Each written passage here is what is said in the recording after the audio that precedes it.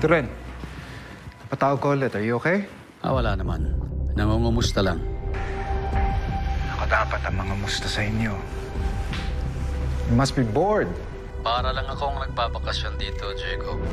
Binibigay nila lahat ng gusto ko dahil kay Mariano. Gusto ko rin malaman nga pala sa'yo kung nagparamdam na ba itong si Lito Balmoria. No. I haven't heard a single word from that man. Subukan mong tawagan. I'll take care of it.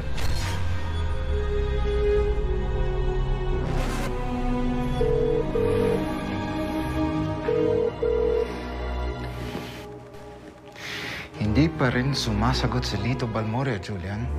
Ano kaya nangyari, sir? Hindi ko alam, Julian. Pero hindi pwede mawala ang connection natin sa lalaking yon. And more importantly, kailangan bumilib sa akin si Tito Ren. Kapag naging maayos ang lahat ng transaksyon natin sa taong iyon, mas bubuo ang tiwala niya sa akin. Sir, marami ka na rin ginawa para sa negosyo natin. Buo na yung tiwala ni Boss Renato sa'yo. Ano? Think about the future. Baka si Tito Ren pa ang maging presidente ng Pilipinas. At kapag nangyari yon, ako na talaga ang hahawak sa negosyo natin.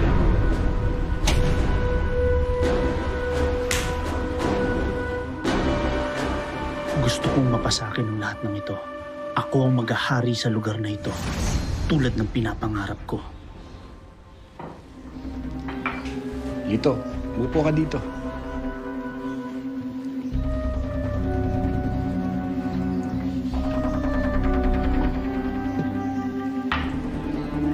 Ngayong ikaw na ang kanang kamay ko, umaasa ako na hindi ka susunod sa yapak ni Max.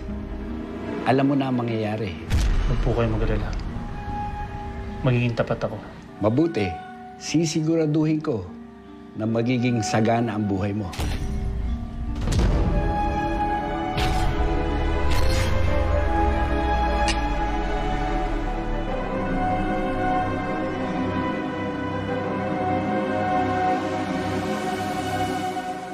Lito, ano balita? Hindi maganda ang sitwasyon natin doon, Damian. Unti-unti nang sinasakop ni Montesilio ang teritoryo natin. Nalagasan na rin tayo ng mga tauhan.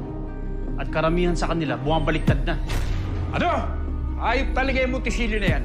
Hindi ba niya ako kinikilala? Hindi ko to pwedeng palampasin. Ang usap-usapan pa, boss. Hindi ka na raw sinusunod ng mga nasasakupan mo. Boss Damian, ano plano mo pagawa sa amin?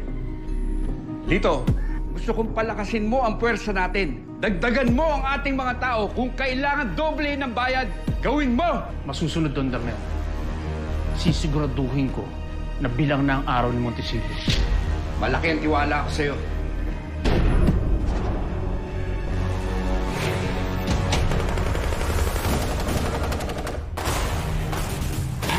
Monstro!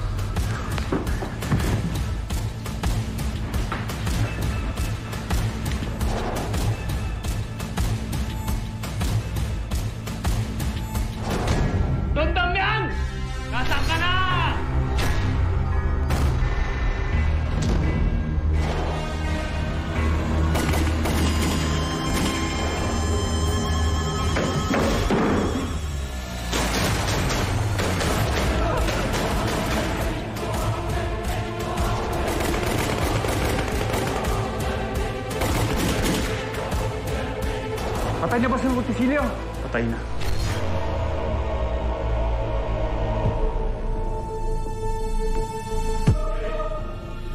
Don Damian.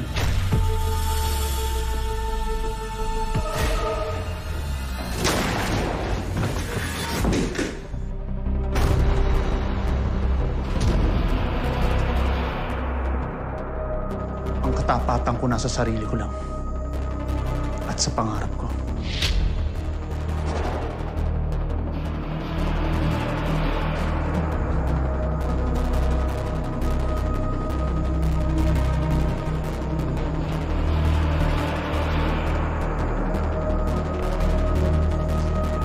Simula ngayon, ako na ang amo ninyo. Dapat manaig ako kay Hipolito sa negosyong ito. Dahil kung hindi, matutulad din siya kay Don Damian at tutumba rin siya sa harapan ko.